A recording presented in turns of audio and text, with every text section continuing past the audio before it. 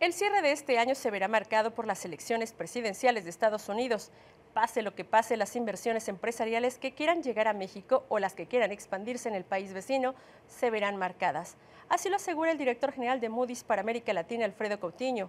Incluso se habla que 2017 será al menos igual que este año, es decir, veremos un crecimiento de 2.2% en el PIB, con una inflación al alza, una economía estadounidense lenta y una volatilidad latente.